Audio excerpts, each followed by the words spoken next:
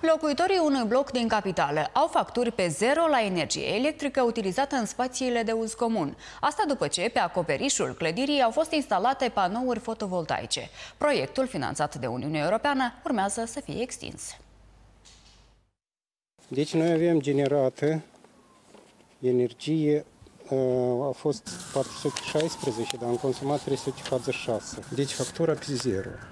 În acest bloc de locuit cu aproximativ 400 de apartamente au fost montate 40 de panouri solare. Astfel, energia generată de acestea este suficientă pentru funcționarea lifturilor, dar și iluminatul din parcări și holuri. Factura vine pe zero, dacă înainte vinea cu 30-40 de lei lunar, dacă ai plan să trăiești 100 de ani, închipuiți mai mare. e mult mai ieftin acum. Plus că arată bine, că le-am văzut personal. Uh-huh. Arată bine, sunt puse instalate cu grijă. Lumina în scări și respectiv uh, uh, liftul.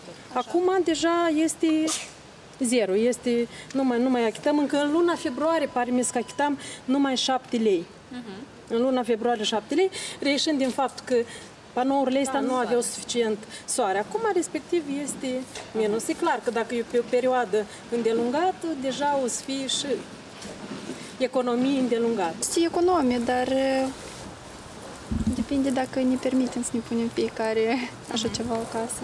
Proiectul a fost realizat în proporție de 80% cu suportul Uniunii Europene. Restul banilor a fost contribuția localnicilor, astfel fiecare proprietar de apartament a achitat în jur de 200 de lei. Avem în total trei sisteme. Unul de 12 kW care îl avem aici, care este destinat pentru parcarea subterană. Mai avem pe blocul la două sisteme, unul de 3 kW și unul de 5.